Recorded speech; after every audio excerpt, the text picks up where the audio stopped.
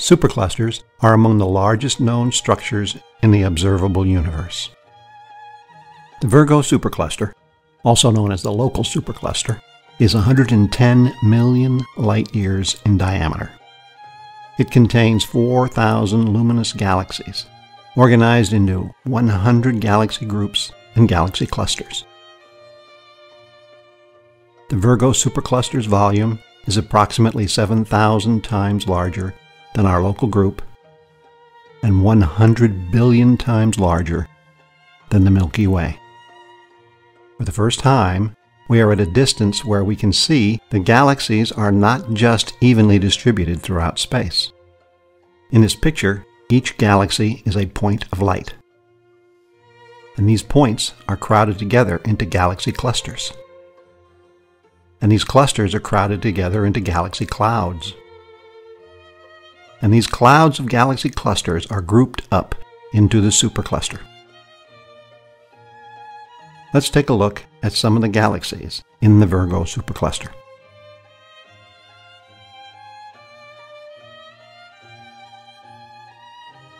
This image of the barred spiral galaxy NGC 4314 shows the entire galaxy, including the bar of stars bisecting the core and the outer spiral arms, which begin near the ends of the bar. That's normal enough. But this Hubble image reveals clusters of infant stars that formed in a ring around the core. This close-up view by Hubble also shows other interesting details in the galaxy's core. Dust lanes, a smaller bar of stars, dust and gas embedded in the stellar ring, and an extra pair of spiral arms packed with young stars. These details make the center resemble a miniature version of the spiral galaxy itself.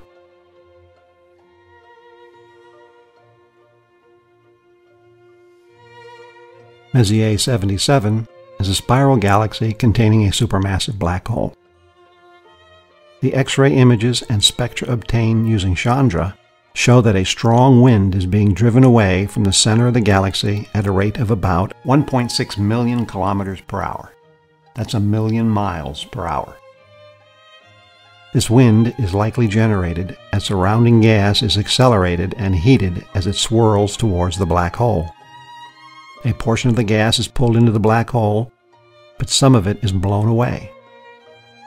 High energy X rays produced by the gas near the black hole heat the outflowing gas, causing it to glow at lower X ray energies. These results help explain how an average-sized supermassive black hole can alter the evolution of the entire host galaxy. This is a unique view of a galaxy tilted edge-on to our line of sight. The image highlights the galaxy structure, a subtle reddish bulge surrounding a bright nucleus, a blue disk of stars running parallel to the dust lanes, and a transparent outer halo. The dust lane is slightly warped compared to the disk of stars. This warp indicates that NGC 5866 may have undergone a gravitational tidal disturbance in the distant past by a close encounter with another galaxy. We'll use this galaxy, along with several others in the Virgo supercluster, to develop our final cosmic distance ladder rung, redshift. You may recall that we covered redshift in our segment on planetary nebula, where we used the shift in hydrogen spectral lines to determine the radial velocity of a celestial object. NGC 5866's redshift indicates that it is moving away from us at just under thousand kilometers per second. That's 617 miles per second.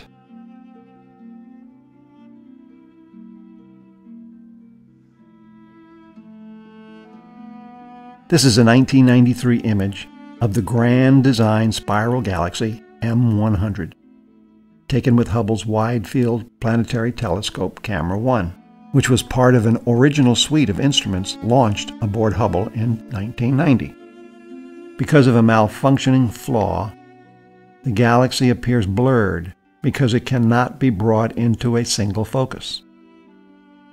In celebration of the 25th anniversary of the first astronaut mission to service the Hubble Space Telescope, a comparison photo made by Hubble's Wide Field Camera 3 was released. The improvement was both critically important for Hubble's science mission, and it made for a significantly better picture.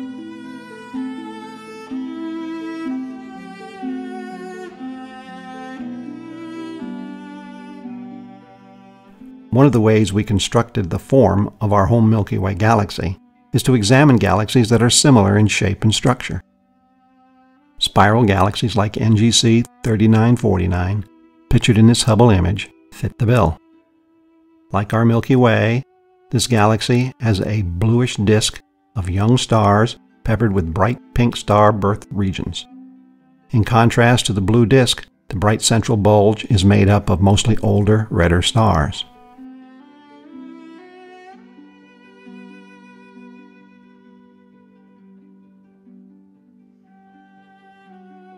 Here's a look at a pair of galaxies. NGC 4647 is the spiral galaxy in the upper right. M60 is the huge elliptical galaxy. On the edge of M60, there is an ultra-compact galaxy known as M60 UCD1. New Hubble observations have found a supermassive black hole with a mass of 20 million suns at its center. M60 UCD1 is a tiny galaxy with a diameter of only 300 light years, containing some 140 million stars. This is 500 times smaller than the Milky Way, but its supermassive black hole is five times more massive than ours. This shows just how significant this black hole is, and it leaves open the question about just how a black hole this large could have been created in the first place given the small number of stars in its galaxy. NGC 1427a is a bright dwarf irregular galaxy on the outskirts of the Fornax cluster. It is similar to the large Magellanic Cloud orbiting our Milky Way. It is plunging headlong into the cluster at nearly 600 kilometers per second. That's nearly 400 miles per second. 1427A will not survive long as an identifiable galaxy passing through the cluster. Within the next billion years, it will be completely disrupted, spilling its stars and remaining gas into the intergalactic space within the Fornax cluster. Most galaxies form new stars at a fairly slow rate, but members of a rare class known as starburst galaxies blaze with extremely active star formation. NGC 3310 is forming clusters of new stars at a prodigious rate. There are several hundred star clusters visible in this image as the bright blue diffuse objects that trace the galaxy's spiral arms. Each of these star clusters represents the formation of up to about a million stars.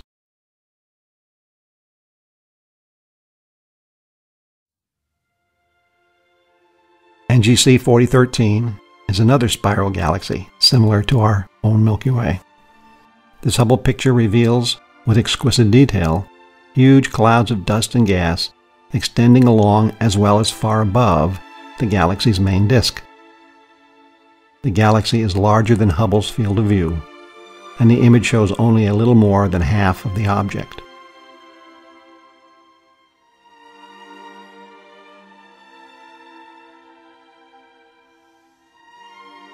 I Zwicky 18 is classified as a dwarf irregular galaxy and is much smaller than our Milky Way. The concentrated bluish white knots embedded in the heart of the galaxy are two major starburst regions where stars are forming at a significant rate. The wispy blue filaments surrounding the central starburst regions are bubbles of gas that have been blown away by stellar winds and supernova explosions from a previous generation of stars. This gas is now heated by intense ultraviolet radiation from hot young stars. Besides the bluish-white young stars, white reddish stars also are visible. These stars are thought to be around 10 billion years old.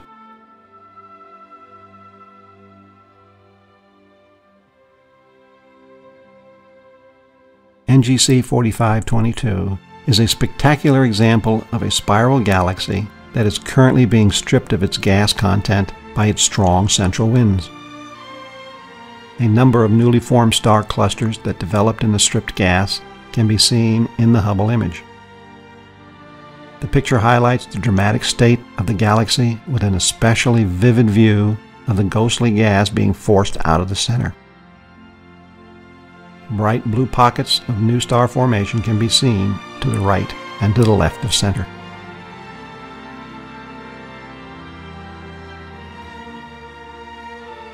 Here we are zooming into NGC 4710 in the Virgo cluster. This magnificent giant galaxy is tilted edge on to our view from Earth. This perspective allows astronomers to easily distinguish the central bulge of stars from its pancake flat disk of stars, dust, and gas. When staring directly at the center of the galaxy, one can detect a faint, ethereal X shaped structure. Such a feature, which astronomers call a boxy or peanut shaped bulge, is due to the vertical motions of the stars in the galaxy's bar and is only evident when a galaxy is seen edge on.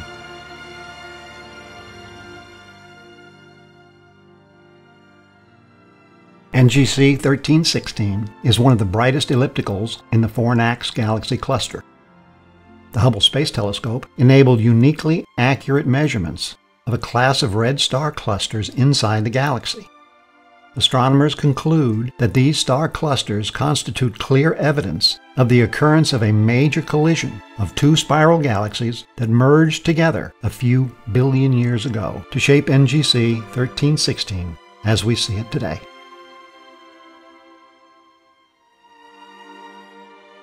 In 1995, the majestic spiral galaxy NGC 4414 was imaged by Hubble as part of the KEY project on extragalactic distance scales. An international team observed this galaxy on 13 different occasions over the course of two months. Based on their discovery and careful brightness measurements of Cepheid variable stars, the KEY project astronomers were able to make an accurate determination of the distance to the galaxy 62 million light years.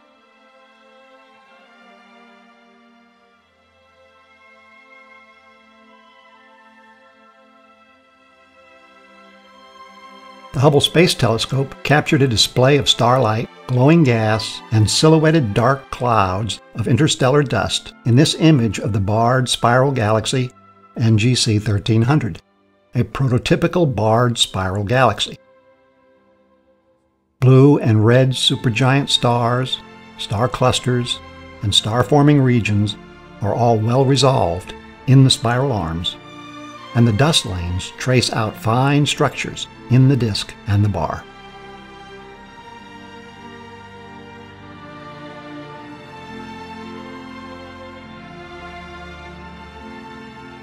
Hubble reveals a majestic disk of stars and dust lanes in this view of the spiral galaxy NGC 2841.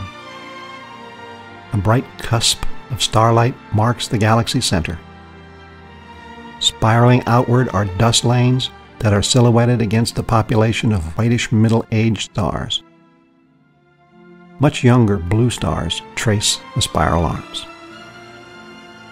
Notably missing are pinkish emission nebula indicative of new star birth. It is likely that the radiation and supersonic winds from fiery, superhot young blue stars cleared out the remaining gas and hence shut down further star formation in the regions in which they were born.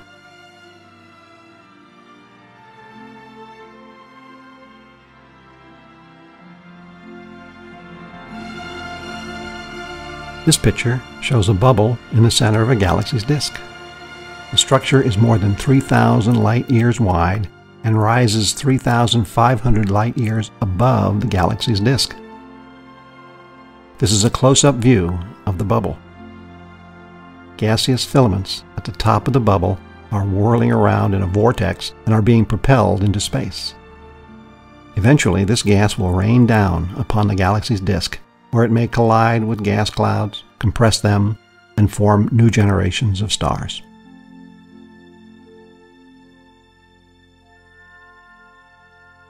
Here's a very interesting galaxy. It is as large as the Milky Way, but it contains only 1 200th the number of stars. Given the object's large size and faint appearance, astronomers are classifying it as a ultra-diffuse galaxy. Note the galaxies behind it and further away. This is literally a see through galaxy. Current dark matter theory has it that galaxies form around dark matter. So researchers were surprised when they discovered this galaxy has hardly any dark matter at all. Measuring the motion of 10 giant globular clusters, astronomers found their velocities to be consistent with the estimated mass of the visible matter. There was no need to assume the presence of dark matter. Astronomers have competing theories about how this could happen. We still have a lot to learn.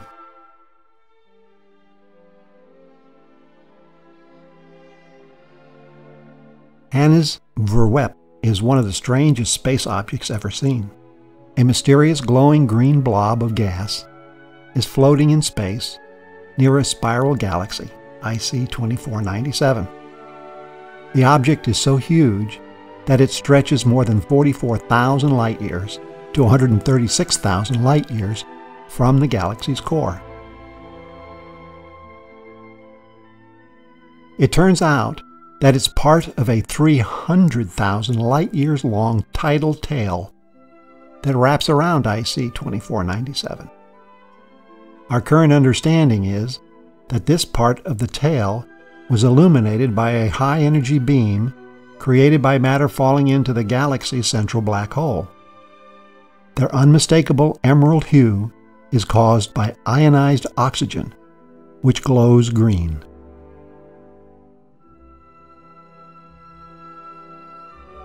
Though the universe is full of spiral galaxies, no two look exactly the same. NGC 3982 is striking for its rich tapestry of star birth, along with its winding arms. The arms are lined with pink star forming regions of glowing hydrogen, newborn blue star clusters, and obscuring dust lanes that provide the new material for future generations of stars.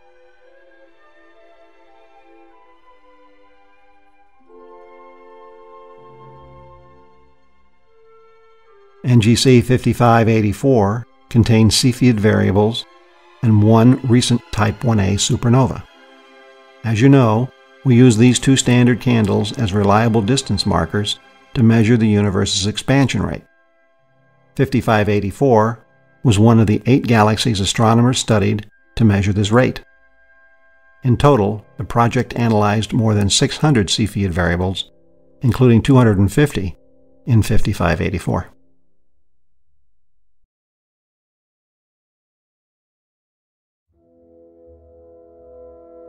This Hubble image shows NGC 4639, a spiral galaxy located 78 million light years away in the Virgo star cluster. The blue dots in the galaxy's outlying regions indicate the presence of young stars. Among them are older, bright Cepheid stars. After using Cepheids to calculate the distance to 4639, the team compared the results to the peak brightness measurements of supernova 1990N, a Type 1a supernova located in the galaxy. Once again, Type 1a supernova were found to be reliable standard candles.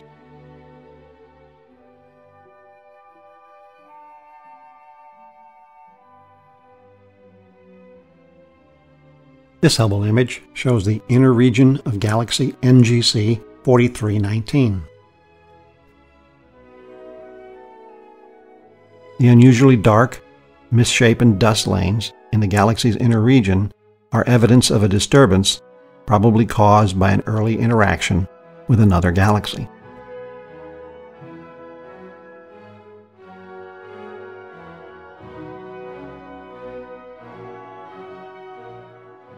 This galaxy was one of several hosts of recent Type 1a supernova observed by astronomers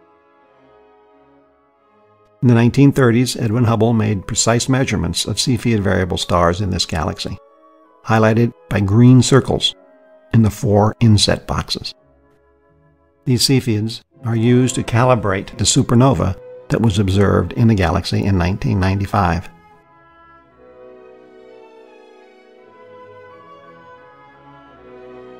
In 1994, NGC 3370 hosted a Type 1a supernova designated SN 1994AE. The stellar outburst briefly outshone all of the tens of billions of other stars in its galaxy. Although supernovae are common, with one exploding every few seconds somewhere in the universe, this one was special. This supernova was one of the nearest and best observed since the advent of modern digital detectors.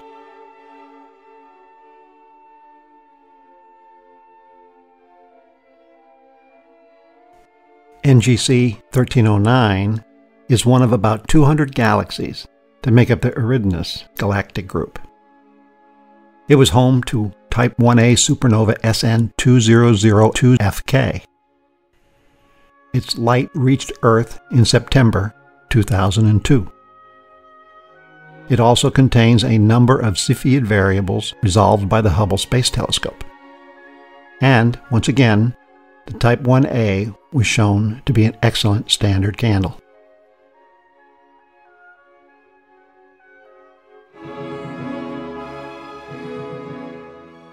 NGC 7049 is the brightest of a cluster of galaxies called Brightest Cluster Galaxies, or BCG for short.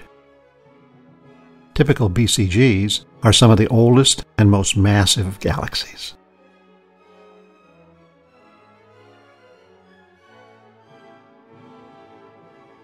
In 1923, after finding the V1 Cepheid variable in Andromeda, and determining that Andromeda was an entire galaxy over 2 million light years from our own, Hubble turned his sights on other spiral and elliptical nebula and found that they were galaxies as well. In his studies of these galaxies, he mapped their radial velocity as determined by the shift in spectral lines against their distance from us. He found what we see here in the Virgo supercluster. NGC 1068 is 35 million light years away and receding at 784 kilometers per second. NGC 3949 is 50 million light years away and receding at 1,120 kilometers per second. NGC 4414 a galaxy studied by the Key Project on extragalactic distance scales, is 62 million light years away and receding at 1,336 kilometers per second. NGC 4319, a galaxy with both Cepheid variables and Type 1a supernova, is 80 million light years away and receding at 1,792 kilometers per second. And NGC 1309, also a galaxy with both Cepheid variables and Type 1a supernova, is 100 million light years away and receding at 2,244 kilometers per second. Hubble found that, except for a few nearby local group galaxies, all the spectra shifts were to the red all the galaxies were moving away from us. And more than that, he found that the further away from us they are, the faster they are moving away from us. And even more than that, he found that the relationship between velocity and distance is linear. The graph is a straight line. The equation is simple. The receding velocity of a galaxy is equal to the slope of the line, a constant, times the distance the galaxy is away from us. Today, that constant is known as the Hubble constant, and the equation is known as Hubble's law. If we measure the redshift of a galaxy, we can determine its receding velocity. And knowing its receding velocity, this equation tells us how far away it is. This gives us a new rung on our cosmic distance ladder called redshift. The accuracy of this rung depends entirely on the value of the Hubble constant. That's why it's one of the most studied numbers in astronomy and cosmology. This constant has been refined over time, and the distances used to see how far it holds has increased by orders of magnitude with our modern ability to determine distances with space telescopes like Hubble, analyzing Type 1a supernova out to billions of light years. The box at the lower left shows the region that Hubble probed. The current best value for the Hubble constant using this approach is 22.4 kilometers per second per million light years, plus or minus 3.2. That's around 13 miles per second per million light years. That is, a receding velocity of a galaxy goes up by 22.4 kilometers per second for each additional million light years away from us it is. This slow and steady movement of galaxies away from us is called the Hubble flow.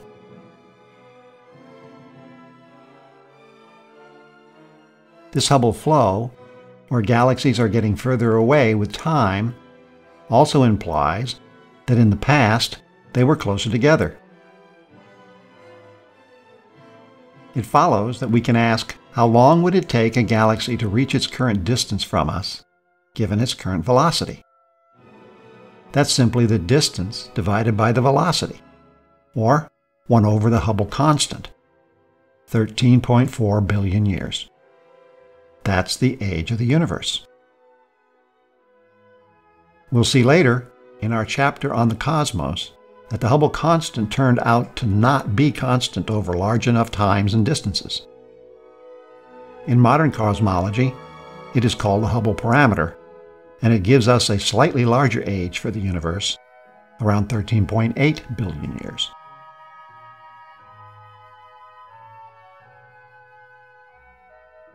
Direct measurements, triangulation, and parallax took us across Earth, the solar system, and nearby stars.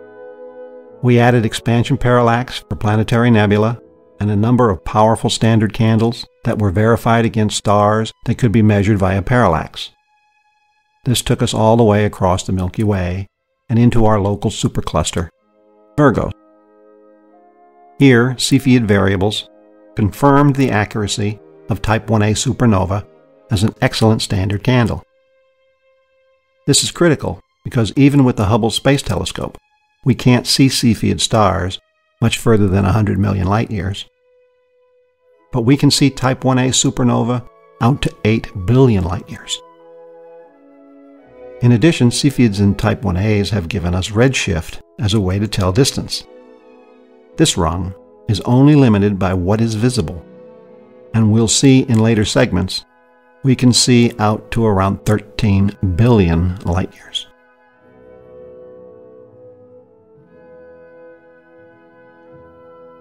Here we have just seen a few of the galaxies in the vast Virgo supercluster. But Virgo is only one of millions of superclusters in the observable universe. In the next segment, we'll take a look at our local group of superclusters and introduce a new way to measure supercluster boundaries, with Laniakea being the one we are in.